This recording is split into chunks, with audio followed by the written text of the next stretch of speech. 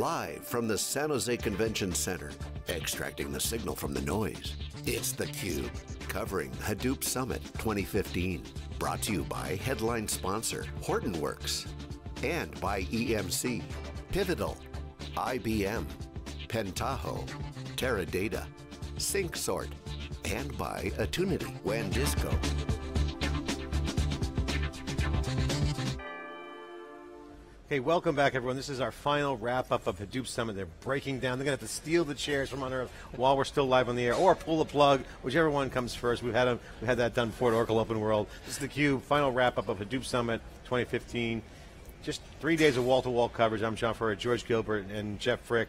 Um, so, guys, what a great show! I mean, it's the it's the coming together of cloud analytics, all doing great stuff, and also more importantly, we had amazing guests on the show. We had a great social community. We had an amazing set of, of, of, of guests. We had Ariana here. We had the whole team working in concert, and we're su- super excited to come down on the ground here. And you know what? Just to, I want to just say a shout out to our sponsor. We would not be able to do this at the kind of pace that we do 70 plus events a year. Go out and go where the action is. No stories too small. We will go out there. We will get all the action and share that with you. We love doing it. It's a lot of work. We don't mind putting the effort in. But it wasn't for our sponsors. We would not be able to do that. To sponsor our efforts who are in our community and help us bring more community. It's Hortonworks, EMC, WANdisco, SyncSort, IBM, you name it, they're all there. Teradata, Impetus, Pentaho, they're all there, and I missed one. I can't read that. Pivotal. You know, Pivotal. Kaivalus Insights, a new uh, new sponsor for the Cube. We haven't had them Yeah. before. It's fantastic. If you like the Cube and you want to help us out, be a sponsor, and uh, we, we love it, and we just want to do more and more. Every dollar that we make for sponsorships, we pour right back into the team and continue to grow and do our best to add more and more value and share that, whether it's social media, Twitter cards, photos, crowd chats, you name it, we do our best. So thanks to the sponsors. All right, guys, analysis of the wrap up. I'll give you my take, and then we'll go around the horn. One, Hadoop is ready for prime time. It's continuing to grow. I think Gartner's sur- survey uh, is under forecasting. I think they say half glass half full, but I think that's just playing it right down the line. Merv Adrian did a great job. I think he's really accurate in what he thinks where the market is. Trough of disillusionment, but it's going to be big. I think a lot more than 50% are looking at uh, Hadoop. Hadoop is growing. That being said, there's a world bigger than Hadoop, and that really is a subtext to the show here. That besides Hadoop, there's other things going on. Spark had an undercurrent throughout the show. Yep, That's yep. interesting. Um, also, we had cloud. We talked about the cloud. We had a lot of people validating our thesis that the systems of intelligence, this next level of analytics, real time streaming, will all be powered by the disruption of the cloud. Certainly in the enterprise. So, you know, I think this is a great time and the energy was here. Tons of attendees, more and more customers. So I think it's very healthy. And Hortonworks has done an amazing job, staying really clear on their mission, not wavering. Standard business model. They're still losing money, but they're clearly going for the going for the going big or going home. So uh, we'll see how that turns out. George, what's your take and what do you see? So one thing that um, keeps keeps coming back um, uh, is really this issue of innovation on one hand and the potential for complexity on the other.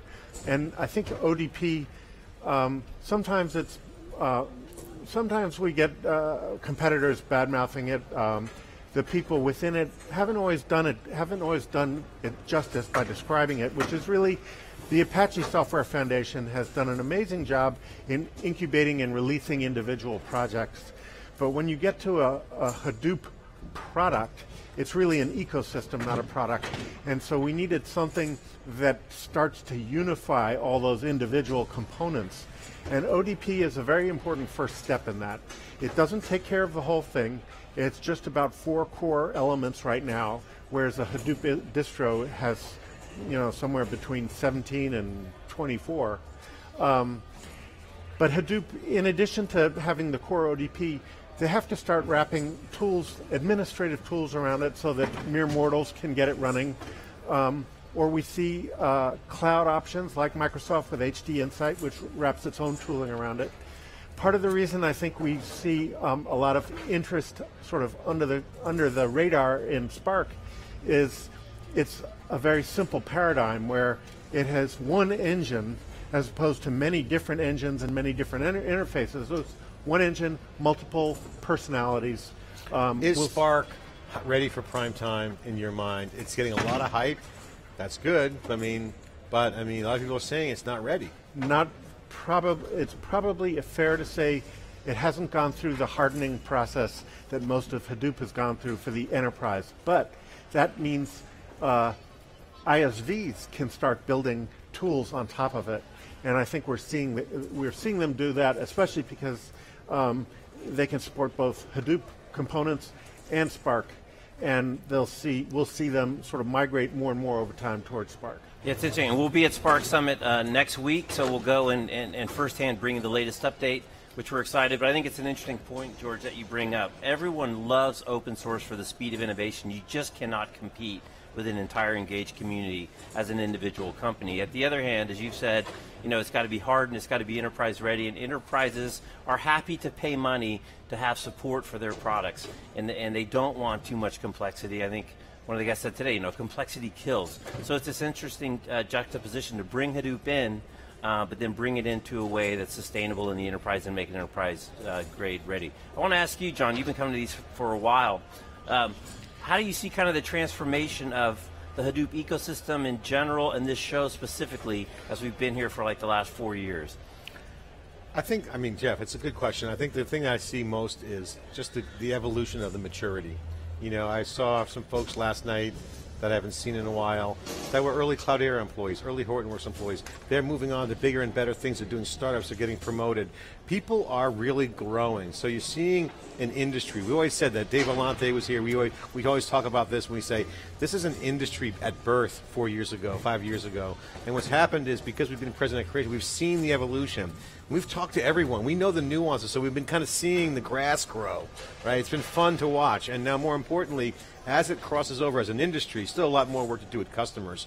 And I think that's the key thing. The most thing that I would take away from here is it has crossed the chasm as an industry. We can cheerlead for ourselves and say, hey, you know, we did great, but still the game's not over. Customers don't see it that way. I think that's why I use that analogy of the ball's in the water, take it out, put it in the drop area, hit it on the green. And that's, I think, that's when, you know, the, the golf analogies is about getting the customers up and running in a very easy way. When you start seeing IBM, HP, Oracle, these kinds of players with big purchasing power, pricing power, market power, embrace this, you know it's real. So that's great. The next step's going to be competition. That's when it's going to be really exciting. You know, the Hortonworks Cloudera thing, as much as the bickering's going on between the two, is a legitimate you know, stare down competition. It's a Mexican standoff. It's it's chicken on the train tracks. It's who is going to make it. You know, it's going to be really interesting to watch. Yeah. Because enterprise is going to want standardization. So someone has to be a software vendor, someone has to be a standard vendor. So I think that's kind of playing out, and we'll see how that goes. Yeah, and I think the whole, um, like you said, the big vendors that are here, IBM and Oracle and and HP, you know, embracing this technology for their customers. And as I think you said, it's not just about Hadoop. A lot of action on SQL on Hadoop. You know, embracing the broader ecosystem and really connecting Hadoop to the other existing systems of record, system of engagement. Uh, what's our other third system, and George? the systems of intelligence systems of intelligence top to really get a one plus one makes three effect. Right. Yeah. Last thoughts, George. I would say they that- roll us out of here. Unlike the era where we saw Oracle and, and IBM and ultimately Microsoft build huge businesses on the foundation of SQL databases, I don't think we're going to see necessarily huge businesses built on a pure Hadoop platform. One, because it's open source, um, and basically what people are going to be paying for are support relationships. What we're more likely to see are, uh, are the big applications being built on top of that. I'm not sure we know exactly what those are going to look like, but I would say our, our uh, um, visitor from Bloomberg is probably more someone who's going to be the prototype where they can take uh, uh, a Hadoop extended foundation and build a big business on top of that. I think, Jeff, the thing to me is this is all about wrapping up the show, and I think the thing that I would say is the battleground for the data will be number one.